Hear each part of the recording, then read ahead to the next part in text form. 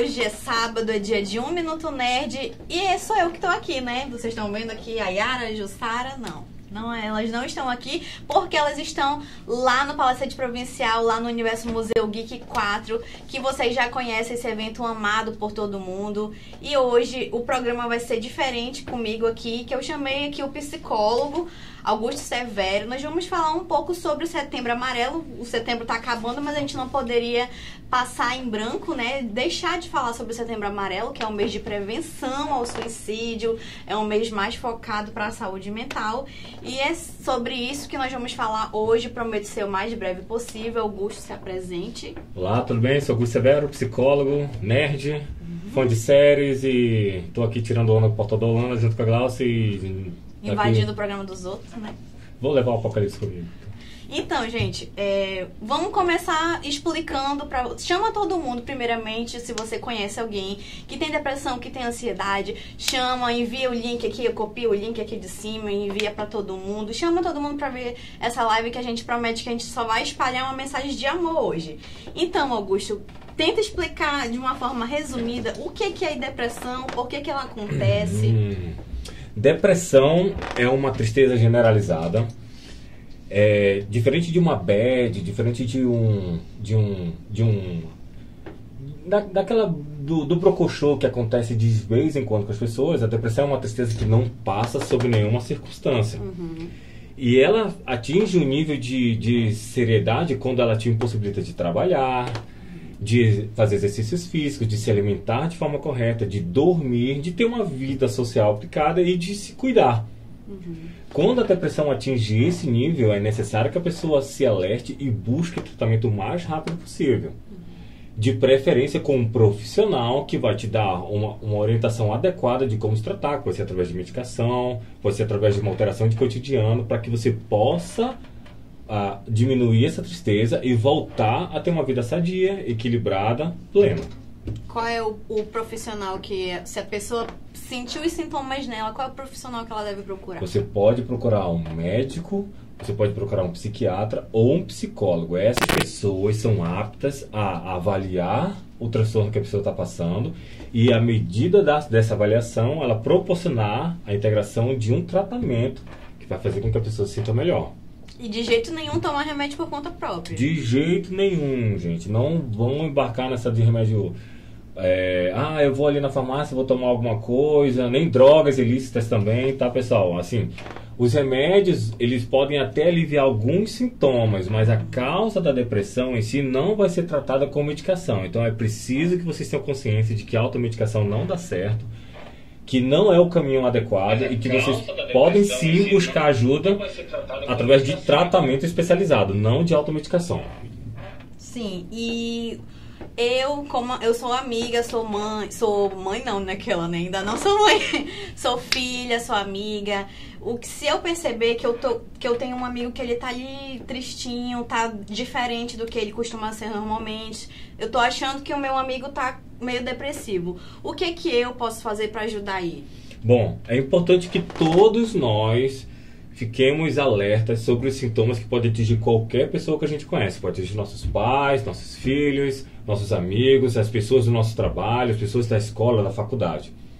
A primeira coisa que a gente tem que ter bem exercitado é entender que depressão não é frescura.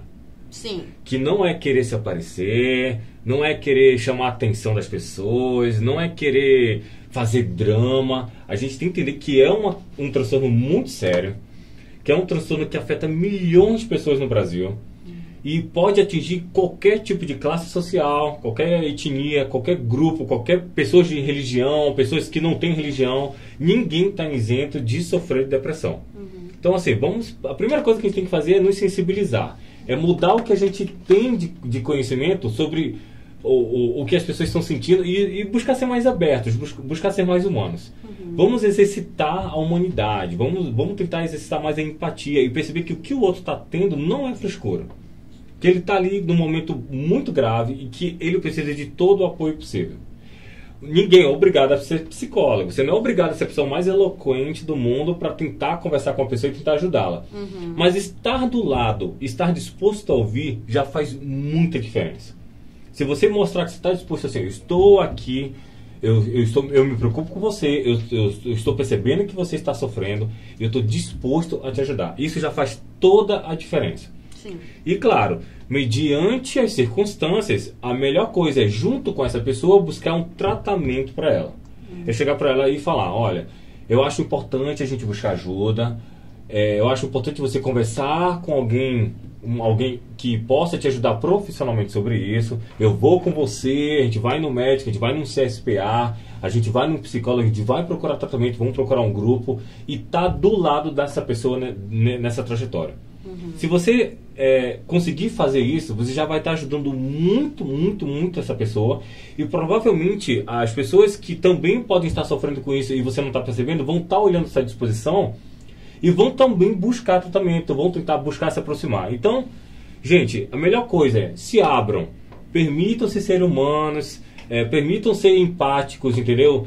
É, vocês não são obrigados a ser os psicólogos do, mais perfeitos do mundo, mas vocês são obrigados, obrigados não, vocês, vocês estão, têm que ser dispostos a serem amigos a reconhecer o sofrimento do outro e junto com essa pessoa ajudar na trajetória de busca por tratamento. Já faz toda a diferença. Escutem, pessoal, escutem. É, praticar empatia, né? Até porque a, é, quem quem está depressivo, por, pelas pessoas terem essa, eu diria que essa cultura de, de falar que a pessoa tá com frescura, tá querendo se aparecer. Muita gente que tá depressivo não, não, não tenta se abrir para os outros por causa disso, porque já tem esse medo assim de já levar logo um tapa na cara. É, mas eu arrisco a dizer que na verdade isso é um fruto muito da modernidade. A gente vive atualmente numa sociedade muito individualista. Uhum. E a galera vive muito nessa vibe da meritocracia de que você precisa vencer, você precisa ser o melhor, você precisa se destacar, você precisa ser a pessoa que, que mais é, adquire prêmios na sua família, na sua escola, na sua faculdade. De onde vem tanta cobrança em ser um indivíduo em destaque numa sociedade cheia de indivíduos que estão lutando o tempo todo para se destacar? Uhum. De onde vem essa coisa do vencer, do vencer, do vencer? Assim, porque aí a gente embarca não tanto na depressão, mas na ansiedade.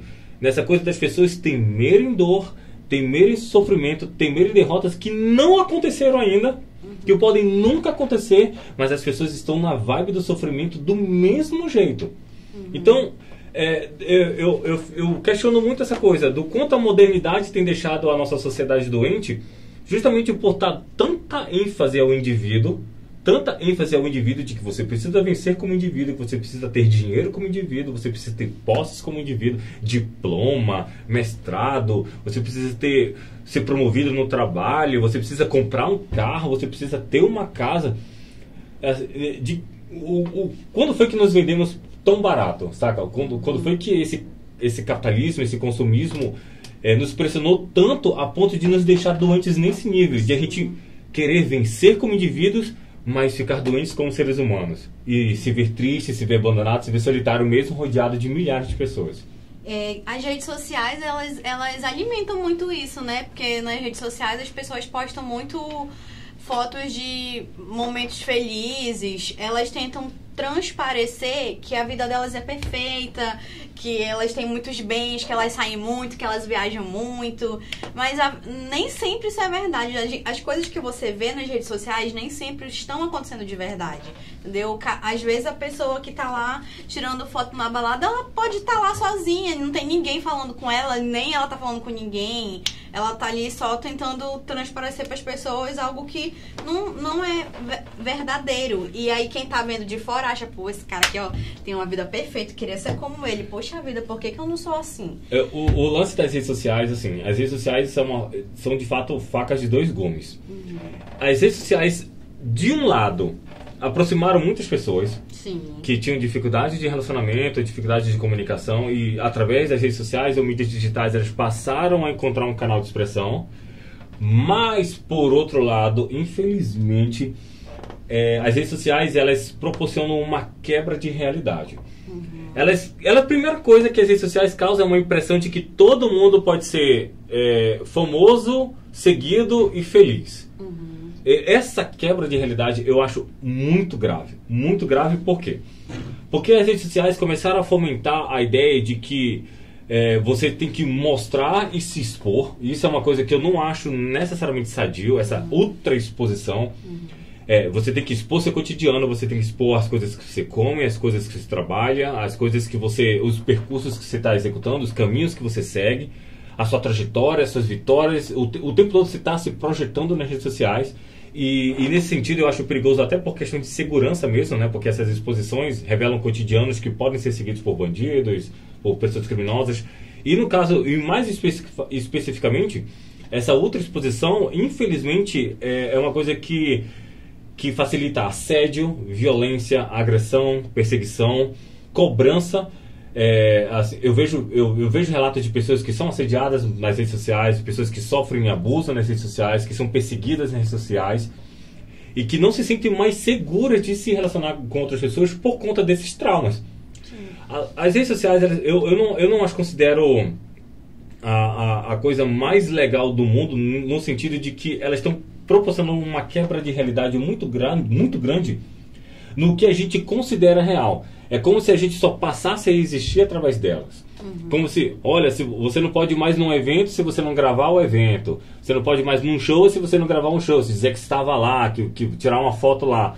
A gente está deixando de curtir a realidade para alimentar uma realidade de redes sociais. Sim, sim. A gente está deixando de, de se relacionar com pessoas para estar conectado com pessoas em redes sociais. Mas aonde estão as conversas? Aonde estão, aonde estão a troca de informação, a troca de experiências?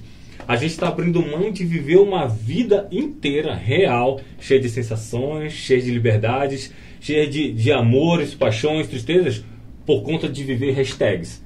Então, assim, vamos parar um pouco e refletir se a gente não está muito de fato se levando em, em, por, pelas redes sociais por essa falsa realidade de rede social, que não é uma realidade de felicidade, não é uma realidade de realização e que pode estar nos adoecendo cada vez mais, nos deixando mais dispostos à depressão, ansiedade e a uma solidão degenerada. É a pessoa que tem 5 mil pessoas no Facebook, mas que não conversa direito com nenhuma pessoa na, na, é na vida real. 5 mil seguidores no Facebook, no, no Facebook, no Instagram, não significa que você tenha 5 mil amigos, tá bom? Exatamente. E então vamos, vamos tentar falar agora um pouco sobre ansiedade. Nosso tempo é curto, infelizmente. Mas vamos, vamos tentar explicar para as pessoas o que é, que é ansiedade, quais são os sintomas da ansiedade que é, é a segunda doença, né, mas que hoje em dia tem muito assim depois da depressão, né? A, ansiedade é infelizmente muito comum também, tanto quanto a uhum. depressão. Ela, ela, ela se caracteriza como um desconforto constante, uhum. de, uma, de uma sensação de apreensão constante, de um nervosismo constante, mediante ameaças que podem acontecer ou não vão acontecer, mas estão num futuro muito distante do presente uhum. e que causam e as, e as características são um, um, uma, um nervosismo generalizado, uma sensação de alerta constante que não passa com, com nenhum tipo de, de, de, de relaxamento. É, uma falta de ar constante, uma apreensão no pescoço e no peito constante, como se a estivesse nervoso e querendo respirar fundo o tempo todo. Vontade de fugir.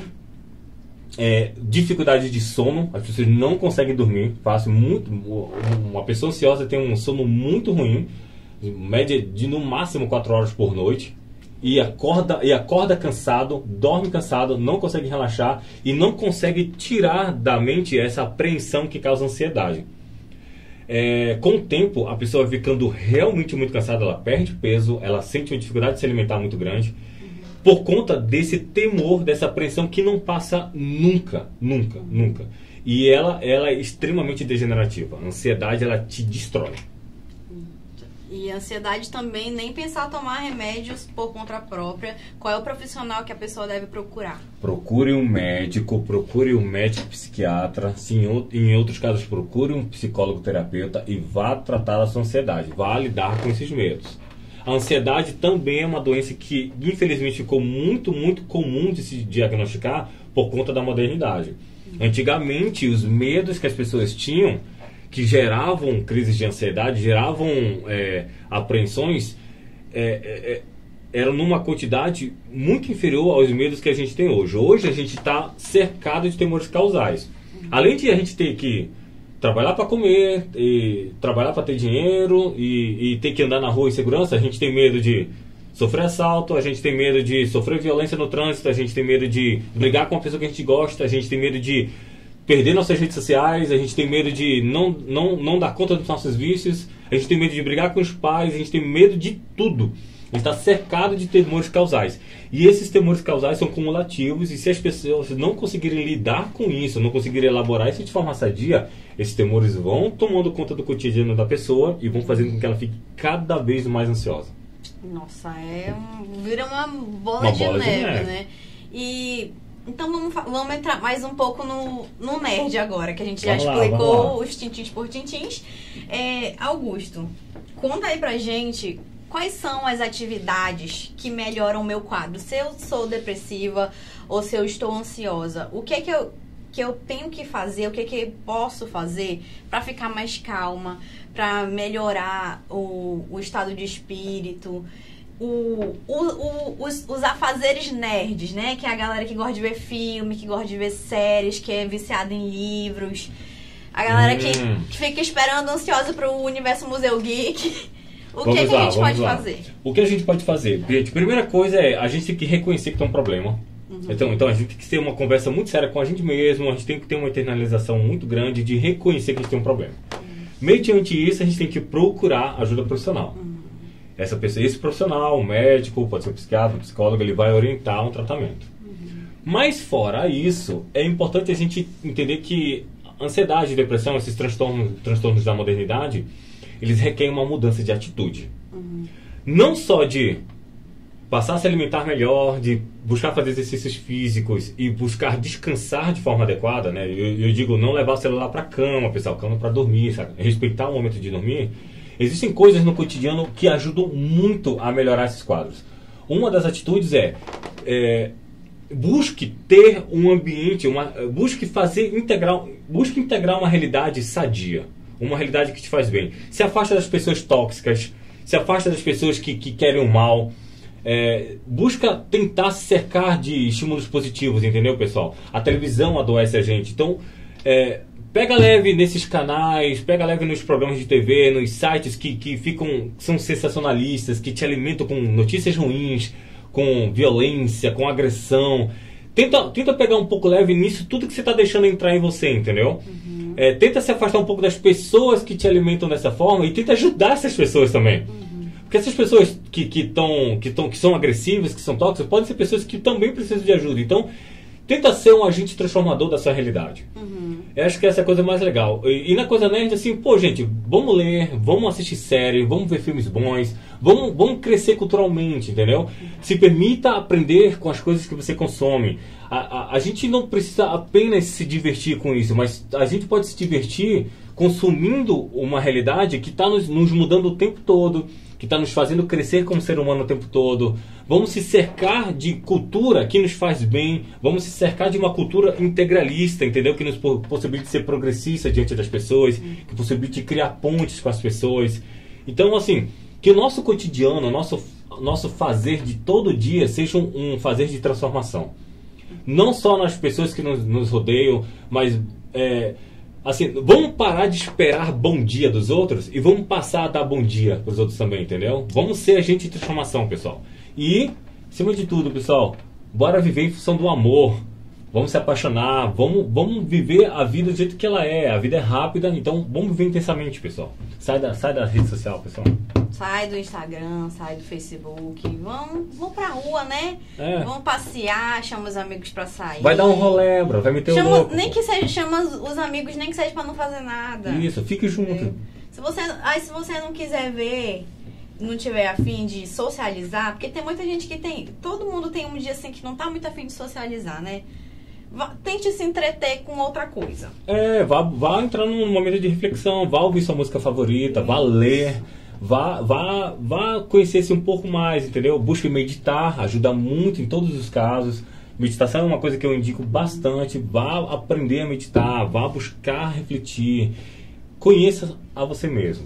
Meditar, meditar antes do sono. Eu ia perguntar isso. Meditar antes de dormir. antes e depois. Ajuda muito, né? Muito, muito. A meditação ajuda a, a- a reduzir os níveis de colesterol, ajuda a diminuir os níveis de estresse, ajuda a respirar melhor, a entrar em ajuda a regularizar os seus hormônios, ajuda você a ser mais consciente do que está te cercando e te ajuda a ser mais empático com as pessoas. Com certeza, empatia é tudo. Eu vou ler aqui agora os comentários de vocês. Gente, eu quero agradecer muito pela audiência que vocês estão aqui, firmes e fortes. Ninguém abandonou a gente.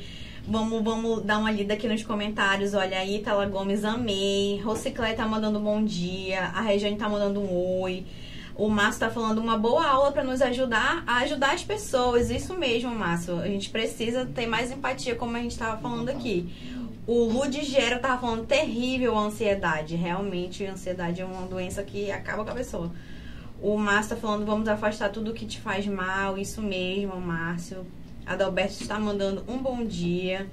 A Jussara tá mandando um beijo lá do Universo Museu Geek. A Jussara tá assistindo a gente aqui, ó. Linda, maravilhosa. Vão lá no Universo Museu Geek, começou hoje, às 10 da manhã, vai ser hoje e amanhã. Vai ter um monte de coisa lá, vai ter, vai ter sorteio, vai ter o empário de oramas, vai ter venda de brusinhas, vai ter venda de, de dos negocinhos feitos de papel, que eu esqueci o nome agora. vai ter palestra, vai ter exposição, vai ter muita coisa legal lá. Vão lá, gente, é gratuito. Isso que é mais importante, é cultura boa para vocês conhecerem. Olha, Clarice está falando, os conselhos ajudam mesmo.